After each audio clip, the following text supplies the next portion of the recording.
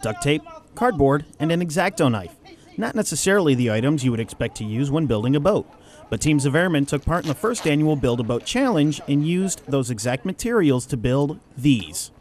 The teams had three and a half hours to take four pieces of cardboard, build a boat, and be able to race it across the pool. It was one of those things we got there and we're like, okay, we have to put this together and oh well, if it sinks, it sinks. It was it was worth coming. Once all the teams had their boats complete, it was off to the water.